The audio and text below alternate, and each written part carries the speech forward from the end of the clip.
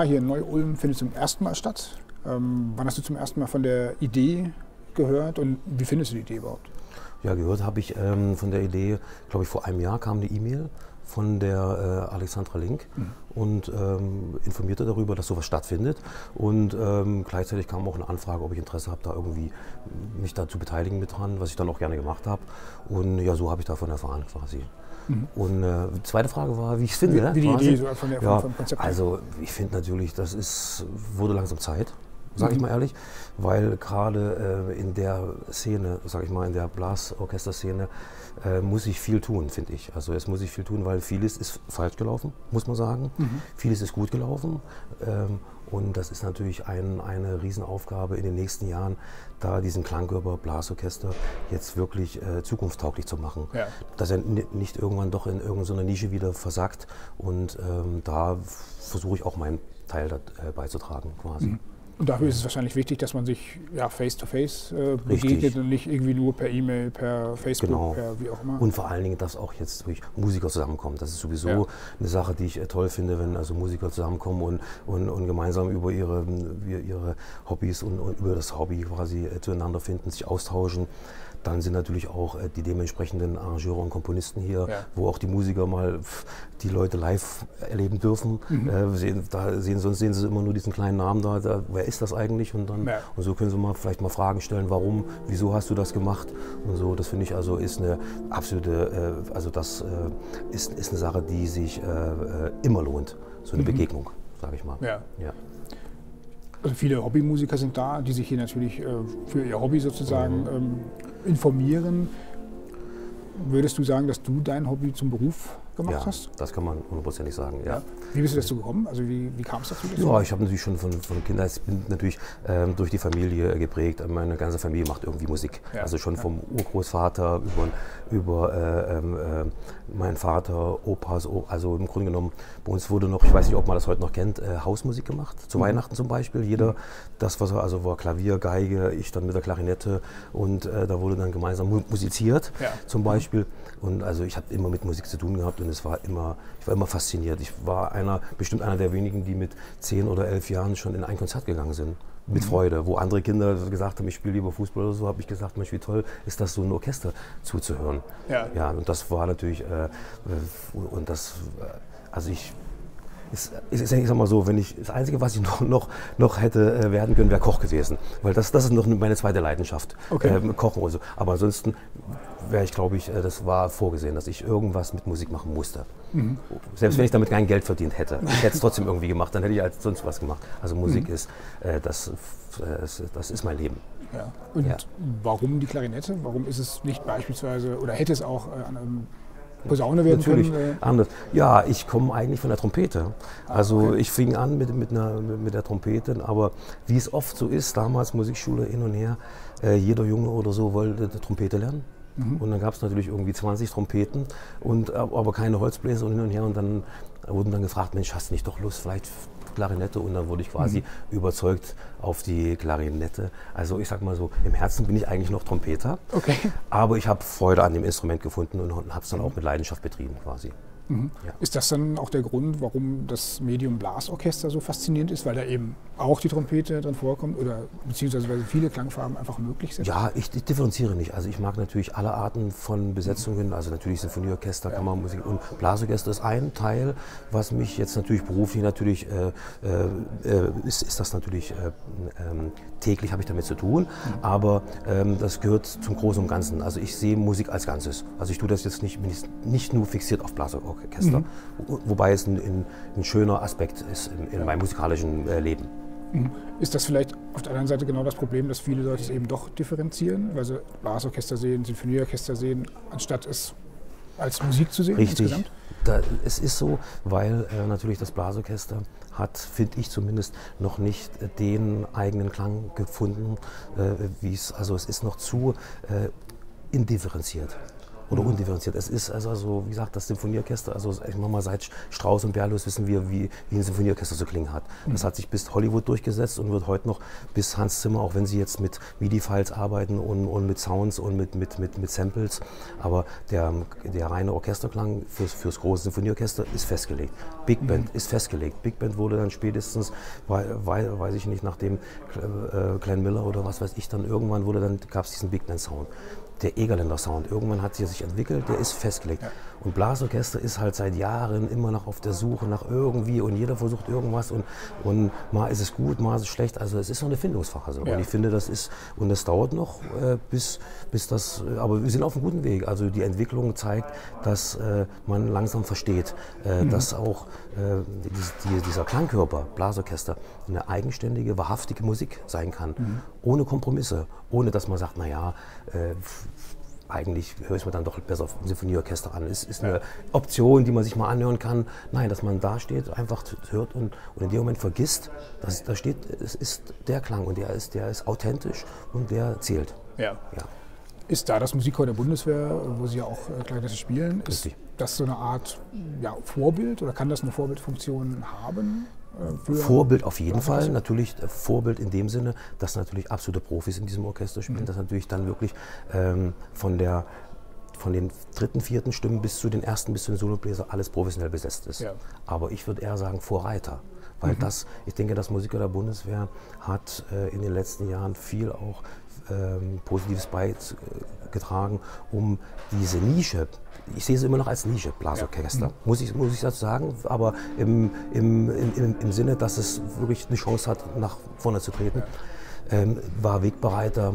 Ich erinnere nur daran, dass äh, der Festakt 25 Jahre Deutsche Einheit mhm. in der Frankfurter Oper äh, dass da die Musik von einem Blasorchester gestaltet wurde, dass eine symphonische Dichtung dort als Hauptwerk aufgeführt wurde und ganz Europa, das Europaparlament, die Kanzlerin, der Bundespräsident dort saßen und hörten sich ein, ein, ein Blasorchester an mit einem für das Blasorchester, keine, Transkription, sondern ein Stück für Blasorchester geschrieben, ja. wurde da gespielt und ich, kann, ich war ja live dabei. Ich kann, kann dir sagen, also nach dem Empfang kam keiner an und, und sagte, na eigentlich müsste doch jetzt ein Sinfonieorchester gespielt haben. Das hat gar keiner gemerkt.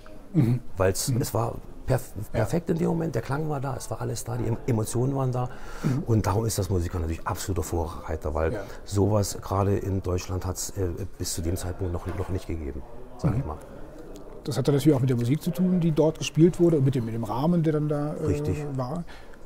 Sie haben das Werk komponiert, Richtig, ja. äh, diese ähm, Freiheitssymphonie. genau. Ähm, war natürlich ein Auftragswerk, beziehungsweise ein Werk für das Musikchor äh, der Bundeswehr? Äh, ja, es sollte eigentlich gar nicht so, das war eigentlich erst viel kleiner gedacht. Wir wollten einfach nur einen Beitrag, beziehungsweise der Chef des Musikchors der Bundeswehr, Oberstleutnant Christoph Scheibling, kam 2013 an mit der Idee, Mensch, für 2014, 25 Jahre Mauerfall, lass uns doch einen Beitrag dazu, und das, das, da hatten wir uns erst gedacht, wir machen irgendwie vielleicht ein, Medley aus, aus Ost- und Westlieder und so, dass man so, mhm. und dann habe ich aber quasi, quasi, äh, wenn ich das jetzt erzählen darf, kurz, können wir schneiden, wir schneiden, und dann kam natürlich die, und umso mehr ich mich damit befasst habe, und dann kam immer mehr, ich selbst im Osten groß geworden, mhm. meine Familie verfolgt durch den, diesen Staat. Also es, und dann merkte ich, das ist natürlich meine Geschichte, die ich hier erzählen kann. Das ist, äh, und dann kam immer mehr und dann wusste ich, es muss größer sein. Es, erst waren es fünf Minuten, dann sage ich zum Chef, nee, das reicht nicht, wir brauchen das, ich muss das erzählen. Nein, ich brauche eine Orgel. Nee, ich brauche noch einen Chor. Ich brauche, und dann wurde das Ganze wirklich richtig groß aufgeblasen mhm. und letztendlich ist dann das entstanden, was dann entstanden ist und äh, äh was dann die Leute, also quasi, so komponiere ich auch. Also ich komponiere noch, ich möchte meine Empfindungen versuchen, den Leuten irgendwie darzulegen. Ja. Mhm. Und das äh, ist für einen Komponisten das größte Glück, wenn er das schafft. Das schafft mhm. das, das, das, ist, also das schafft man natürlich nicht mit jedem Stück. Aber in dem Fall hat es funktioniert, dass ja. auch andere Leute meine Gedanken nachvollziehen konnten. Mhm. Meine Sachen, die ich so geschrieben habe, konnten die auf einmal nachvollziehen und dann hat das diese Wirkung gehabt, mhm. äh, die es dann gehabt hat. Genau. Ja. Wie geht man an so ein Werk ran? Klar, Sie haben es gesagt, Sie haben Ihre eigenen Erfahrungen Richtig. mit reingebracht, natürlich, ja. Ihre eigene Geschichte auch mit reingebracht. Ähm, ist das dann ja, Inspiration und dann fließt es einfach so aufs Notenpapier mhm. oder ist es dann schon auch harte Arbeit. Also gut, man muss sagen, äh, ich Komponieren, das macht ja jeder Komponist das anders. Also man kennt es ja aus Geschichten, äh, also Mahler ist ja verzweifelt an seinen Kompositionen, am Klavier und hin und her. Der hat ja dann, weil er wirklich an diesem Klavier hing und dann und alles revidiert hat und hin und her. Dann gibt es welche wie Strauss, der setzt sich in sein Landhaus und, und, und schreibt da die Alpensymphonie zum Beispiel. Mhm. So, also, und bei mir ist es so, ich setze mich also nicht an die Partitur und äh, so, jetzt fang mal an und schreib. Mhm. Funktioniert bei mir auch nicht. Dann, denn, ja. Also ich versuche alles erstmal zu entwickeln für mich. Das heißt also, so ein Stück wie Wir sind das Volk zum Beispiel, das hat Wochen gedauert, bis ich das im Kopf, da habe ich keinen Ton, vielleicht ein paar Skizzen gemacht, so ein mhm. paar Phrasen, die ich so vielleicht, aber und dann immer wieder jeden Abend drüber nach und das könnte das und das und das und das und irgendwann, irgendwann war dieses ganze Stück dann für mich im Kopf fertig. Mhm. So und dann und dann ist das, das ist das diese Zeitersparnis, die man hat. Ja, ja. Und dann kann man sich nämlich ransetzen mhm. und malt im Grunde genommen einfach nur das ab, was man in sich, es ist, es ist alles da. Man kann, und dann können Sie sich gar nicht vorstellen, wie das, man kommt ja gar nicht mehr hin, hin hinterher, weil die Gedanken viel schneller sind. Das muss ja, weil man so schnell kann man ja gar nicht schreiben. Ja. Und deshalb kann man so ein, so ein Werk, kann man dann innerhalb von, ich weiß nicht, glaube ich, acht Tagen mhm. zu Papier bringen. Mhm. Und, ähm, äh, aber die Vorarbeit, die ist dann da. Also wie, gesagt, äh, ja, also Ich, das habe ich mir abgewöhnt. Wirklich. Am Anfang habe ich es noch so gemacht, aber die letzten 10, 15 Jahre, ich schreibe nichts mehr, wenn ich nicht weiß, was ich schreibe. Also ich mhm. setze mich nicht mehr an eine Partitur, an dieses leere Blatt. Das ist tödlich. Die sitzen, die können zwei Stunden vor so einem Blatt Papier sitzen und es passiert nichts. Ja. Und dann drehen sie durch. Das ist echt schlimm. Ja, ich weiß nicht, ob Sie das ungefähr nachvollziehen können. Ja. Wenn Sie diesen, und das, das, diesen, diesen Zwang setze ich mich einfach nicht mehr aus mhm. und äh, äh, versuche dann, äh, das wirklich alles erstmal entstehen zu lassen. Und wenn es dann fertig ist im Kopf, dann kann ich das ohne Probleme abschreiben, kann natürlich dann noch ein paar Korrekturen machen, klar, logisch, dass man dann nochmal guckt, wo was, aber im Prinzip die, der Rahmen steht und dann ist es wirklich, dann macht es auch Spaß. Mhm. Und dann kommt auch, dann ist auch ein, ein Fluss dann hört man das auch. Ja. Also auch das Publikum spürt das, mhm. dass das nichts konstruiertes, nichts mit dem Rechenschieber irgendwie versucht oder nicht, dass man merkt, dass er hier drei Tage weg war, wo er im nächsten Takt so ungefähr, sondern dass das ein Guss ist. Quasi, mhm. ja. Wie ist es so von der, von der Zeiteinteilung, sage ich mal, wie viel Ihres Berufslebens sind Sie Klarinettist und wie viel Komponist? Oder also das, geht das ineinander über? Ich denke mal, ich bin zu 100% Klarinettist, Musiker mhm. der Bundeswehr. Geht mhm. gar nicht anders, weil ja. in diesem Orchester, das ist ein professionelles Orchester, äh, man kann nicht zu 50% Klarinettist sein im Orchester. Ja. Da würden spätestens meine Kollegen würden dann nach ein paar Tagen würden die sagen, ey, was ist mit dir los? Also bin ich zu 100% Klarinettist, mhm. aber auch zu 100% Komponist. Mhm. Und die Zeiteinteilung, das muss ich dann halt sehen, wie, wie ich das dann äh, mache. Dann ist halt äh, Nachdienst, beschäftige ich mich mit der Komponierei und, mhm. und mit dem Arrangieren. Und während Dienst ist, bin ich äh, Bestandteil des Musikers der Bundeswehr ja. und das zu 100 Prozent natürlich. Geht, mhm. geht gar nicht anders. Ja. Das ist professionelles Arbeiten. Mhm. Alles andere wäre unprofessionell. Ja. Der Workshop hier beim, äh, beim IWK, mhm. da geht es um den absoluten Richtig. Klang äh, im Blasorchester. Was ist da Ihre Vorstellung? Was, was ist der absolute Klang? Der absolute Klang ist für mich, dass immer, also eigentlich schon das, was ich jetzt versucht habe zu erklären. Ja. Aber im Grunde genommen, dass halt äh, immer alle, also es hat viel mit Physik auch zu tun, dass immer alle Obertöne da sind, dass, mhm. dass, dass, dass, weil wir, wir Menschen vom Gehör her, wir können es nicht ertragen, wenn, wenn irgendwie ähm, was muffig oder nicht so richtig klingt oder, mhm. oder, so. Das können wir auf Dauer nicht ertragen. Ja. Ist, man kann sich das ungefähr so erklären, wenn man sich einen Stopfen im Ohr, Ohr das ist, das, das ist auch irgendwie komisch, wenn jemand spricht und man hat irgendwas auf oder so. Also brauchen wir immer einen absoluten Klang, wo alle Obertöne vorhanden sind. Und, da, äh, und das ist natürlich im Blasorchester schwieriger, weil ein Sinfonieorchester natürlich durch den Streicherapparat, das trägt natürlich alle anderen Instrumente mit und da ist, ist es überhaupt kein Problem. Aber im Blasorchester durch physikalische Gesetze, durch obertonarme Instrumente, mhm. die dann die Obertonreihe abschneiden zum Beispiel. Es ist ja. viel Fachgesimpel, aber jetzt vom, vom ja, Prinzip her. Äh, und dann entsteht natürlich dann oft so, so, so, so eine Wolke, wo nichts mehr differenziert ist.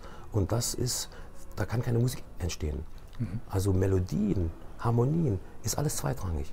Erst kommt der Klang. Der Klang ist das Wichtigste überhaupt. Ohne Klang kann keine Musik entstehen. Weil nur über Klang kann ich dem Publikum was vermitteln. Ich kann ihn auch dazu bringen, äh, dass er das nicht gut findet, wenn ich das möchte. Ja. Aber ich kann ihm auch so ein, so ein, Gefühl vermitteln, dass das jetzt echt ist und dass das alles funktioniert und dass das, das, ja, das äh, bewirkt halt Musik. Mhm. Und das geht nur über einen perfekten Klang. Und das, da hat natürlich die Instrumentation ja. viel mit zu tun. Das mhm. ist, und ist das dann die Hauptaufgabe des Dirigenten, äh, das zu erreichen? Ähm, oder eine Aufgabe des Dirigenten? Es ist erstmal die Hauptaufgabe der Komponisten und Arrangeure, das zu erreichen. Mhm. Dass die erstmal eine vernünftige Partitur schreiben, ja. dass da ein gewisses Fachwissen da ist, mhm. dass, das, dass da äh, ein Wissen über, über was, weil auf der Partitur sieht alles irgendwie gut aus. Ja. Und dann wundert man sich oft, wenn es dann live gespielt wird, warum funktioniert das nicht. Das ist die Grundvoraussetzung. Wenn das mhm. stimmt, mhm. dann ist es natürlich eine Aufgabe eines Dirigenten, dann natürlich durch, durch, durch äh, wenn er das entdeckt, was der Komponist denn wirklich klanglich da will, die letzten Obertöne dann rauszuholen und das alles musikalisch umzusetzen. Mhm. Ja. Wie viel, ja, welche Aufgabe ist dann der, ja, der Musiker muss es natürlich umsetzen letztendlich, klar, was der Dirigent äh, von ihm will ja. sozusagen. Ähm, aber ist es die alleinige Aufgabe des Dirigenten dann? Oder ist der Musiker da schon auch mitverantwortlich? Er muss ja auch auf mhm. bestimmte äh, Dinge hören, dann, also nicht nur, was der Dirigent vorne zeigt, sondern auch ja. mitmachen. Ich, ich, weiß, was Sie meinen. Ich bin ja nun auch praktizierender Musiker. Ja. Und ich habe nur festgestellt, äh, weil ich ja auch schon viele Dirigenten, mit vielen Dirigenten gearbeitet habe, dass also ein Orchester wirklich das, der Dirigent ist wirklich das Wichtigste vor einem Orchester. Also ein, ein, ein äh, Dirigent prägt das Orchester. Mhm. Er kann natürlich, weil der Musiker an sich, der ist, wie er, wie er ist. Er ist, entweder ist er vorbereitet und dann kann er das spielen und, oder er ist nicht vorbereitet, dann kann er das nicht spielen. Das, sind wieder, das ist aber wieder ein anderes Thema. Mhm. Aber die Musik aus, aus den Stücken zu holen, das obliegt absolut dem Dirigenten. Und je nachdem, was er ausstrahlt, das hat gar nicht mal was mit Technik zu tun das hat was mit Vermittlung zu tun, mhm. mit Persönlichkeit. Mit, und äh, äh, es kann die tollsten Orchester brechen ein unter einem schlechten Dirigenten. Ja. Brechen ein. Das ist unglaublich. Und das sind dieselben Musiker, die spielen dieselben Töne. Mhm. Und es ist äh, wirklich, also ähm, das ist für einen Laien vielleicht gar nicht so äh, nachvollziehbar, mhm. aber das ist äh, unschätzbar, was ein Dirigent für ein für, fürs Orchester bedeutet. Mhm. Das ist, wie man einen mitnimmt, wie man, da ist ja jedes Augenzwinkern, jede Geste, spürt ja der, der Musiker, ja. weiß was er. Und wenn, wenn da natürlich nichts kommt, mhm. das nimmt auch der Musiker an. Da kommt nichts, dann, dann, dann will er das vielleicht nicht. Dann mhm. soll von mir also auch nichts ja. kommen. Also das ist äh, mhm. Dirigent eine sehr verantwortungsvolle Aufgabe, wirklich, muss man schon sagen, ja. Mhm. Wann war das letzte Mal, dass Sie einen Kollegen beneidet haben? In Sachen Komposition oder als Instrumentalist? Als Instrumentalist in erster ja. Linie. Da muss ich dazu sagen, Neid kommt in meinem Leben eigentlich nicht vor. Es mhm. ist wirklich so. Ich äh, kann dieses, dieses Neidempfinden, habe ich nicht. Mhm. Ich weiß nicht warum, aber ich kann also ein Beispiel, wenn mein Nachbar mit einem Porsche vorfährt, dann finde find ich das, dann sage ich super Mensch, ey, das, das finde ich toll. Also ich, ich gönne jedem alles und äh, ich, ich, ich schaue zu Kollegen, die fachlich toll sind, tolle Komponisten zum Beispiel, da schaue ich auf oder versuche mich an denen zu messen, gucke ähm, und versuche Umgedreht ist es genauso, wo ich meine, da, da ist nichts dahinter, die durch innerlich dann vielleicht verachten sogar. Also ja. das muss man aber natürlich, aber ich habe dieses Neidgefühl ich freue mich für jeden und für jeden. Oder wenn ein Klarinettist aufsteht und um unser erster Solo-Klarinettist, was ein toller, der Jochen Bayer, wir haben einen ganz tollen Solo-Klarinettisten, wenn der spielt, das finde ich einfach nur schön. Und, mhm. und äh, äh ich könnte es wirklich in der Form nicht, diese Nerven hätte ich gar nicht. Und das, da entsteht kein Neid. Da bin ich einfach stolz, dass ich in diesem Register sitzen kann und mein, mein Kollege da vorne äh, so eine tollen Töne spielt, mhm. muss ich sagen. Ja. Okay. Wann war das letzte Mal, dass Sie eine Schreibblockade hatten? Oh, das, äh, da hatte ich ja gerade erklärt, genau. basiert nicht mehr, ja. da ich das sonst nicht schreibe. Also dann lasse dann lass ich es. Also ich, wenn, wenn ich, wenn ich, ähm, ich mache ausschließlich Auftragskomposition ja. und befasse mich dann wirklich mit den, und äh, also habe ich so wirklich, also auch wenn es blöd klingt, ich, ich, okay. ich, ich versuche mir das mhm. fernzuhalten, weil das ist, ja. das ist das Schlimmste. Also wenn das passiert, boah, da kann man, ich glaube, das, das ist, da, da würde ich durchdrehen. Mhm. Weil okay. das natürlich, weil man, es gibt ja keine Hilfe, was soll man dagegen machen? Ja. Oder haben Sie ein Rezept dagegen? Was man da machen? Weiß ich nicht. Ich war, also, war, du, nee, wir waren beim Du, Entschuldigung. Ja, du, ja, ja. Wann war das letzte Mal, dass du jemandem erklären musstest, wo Torgau liegt? Oh ja, ja, das Schlimme ist immer Torgau. Ah, Müller-Torgau. Das ist schlimm. Müller-Thurgau mit TH, also Torgau, T-O-R-G die ein, ein, eigentlich eine sehr historische Stadt in äh, Sachsen an der Elbe. Äh, sogar mal vor Dresden, noch vor vielen hundert Jahren Hauptstadt von Sachsen gewesen. Mhm. Ist eigentlich eine sehr historische und tolle Stadt, kann ich nur jedem empfehlen, mal, ich, ich mache es mal in die Kamera, mal vorbeizukommen, äh, ähm, obwohl ich da jetzt nicht mehr wohne, bin ja jetzt Rheinländer geworden. Äh, und, ähm, aber prinzipiell immer erklären. Mhm. Komischerweise kennt diese Stadt keiner. Okay. Ich weiß nicht, woran das liegt. Den Torgauer Marsch, den kennt man. Thurgau Parademarsch. Mhm. Falls, also für die Blas, oder den, den kennt man. Ja. ja. Und wann war das letzte Mal, dass Sie gedacht haben, hätte ich mal was Ordentliches gelernt? Nie.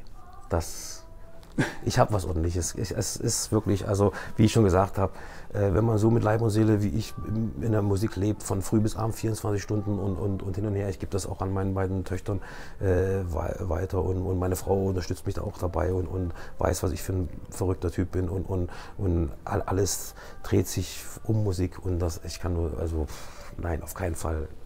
Ich möchte nichts Ordentliches lernen. Alles klar. Das Vielen Dank schon. dafür. Da, ich bedanke mich.